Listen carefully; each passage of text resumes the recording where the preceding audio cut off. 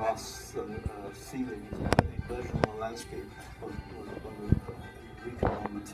I have 40 years of work on area lakes. I spent the first 20 with paper after paper on how horrible everything was. But I've spent the last 20 years of my life documenting the, the pace, the extent, the direction, the regulators of recovery.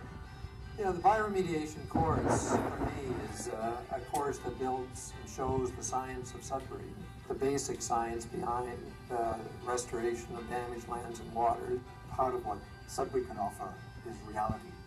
This is a reality show. This is not a simulated experimental show. This is this is real. Um, that is exactly a live laboratory, um, and uh, and that's something that you don't find anywhere else.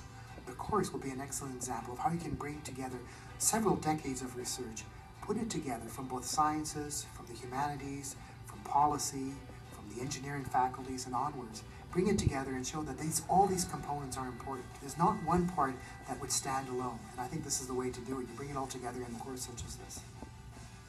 Laurentian needs to do this because Laurentian created this study. A strategic plan is something I, I live with every day, and it takes a very ambitious goal that we will be a global center for freshwater research. And in the end, uh, we will contribute to a, a global goal of having clean water now and forever for the planet. Those are big goals. How do we get that information outside of our classrooms? How do we get it into the rest of the world? How do we meet that strategic goal?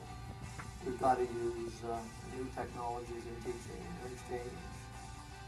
We can rebuild ecosystems. We can restore endangered species. We never looked at the world that way before, but now we're turning it into a science, into a formal process. And that's what makes the regreening story so powerful. Then we truly have created hope for the next generation.